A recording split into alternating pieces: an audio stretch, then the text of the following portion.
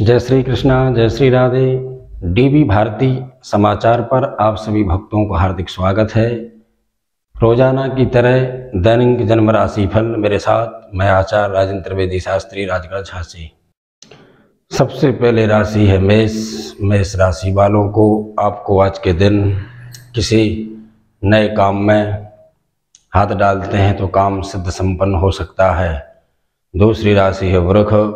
मृख राशि वालों को अनायस अचानक आज आप कोई प्रॉपर्टी की डील कर सकते हैं अथवा कोई नया वाहन क्रय विक्रय भी कर सकते हैं।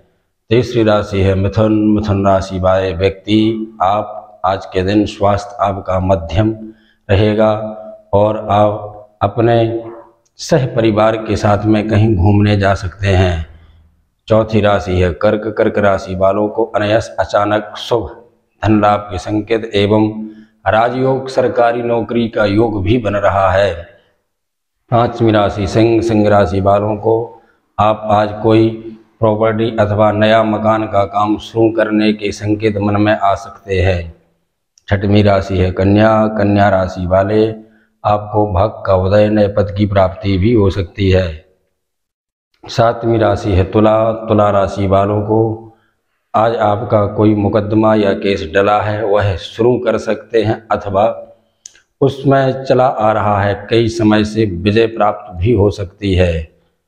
आठवीं राशि वृश्चिक वृश्चिक राशि वालों को आपको आज के दिन प्रॉपर्टी से संबंधित कोई डीलिंग अथवा आप उसकी प्लॉटिंग का कार्य अथवा कोई नया निर्माण या वाहन का क्रय विक्रय भी कर सकते हैं। नवम राशि है धनु। धनु राशि वालों को आपको आज के दिन भाग्य का उदय पद की प्राप्ति, स्थानांतरण के योग बन रहे हैं। दसम राशि है मकर। मकर राशि वाले आप आज के दिन कोई भी, कोई नया काम शुरू कर सकते हैं।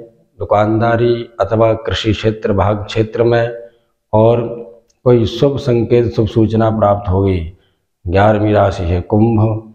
कुंभ राशि वाले व्यक्तियों को आप घर परिवार वालों मित्रों से अच्छे संबंध रहेंगे और नया काम शुरू कर सकते हैं। बारहवीं राशि है, मीन मीन राशि वालों को आपको आज के दिन कोई शुभ सूचना भी मिलेगी अथवा आप कोई सरकारी राजयोग नौकरी बन रहा है, आप कहीं हाथ डालेंगे, आपका काम सिद्ध संपन्न हो सकता है, स्वास्थ्य आपका मध्यम रहेगा, शत्रु आपके परास्त होंगे जय श्री राधे, जय श्री कृष्णा, जय माँ पीताम्बरा, जय माँ बिंदवासिनी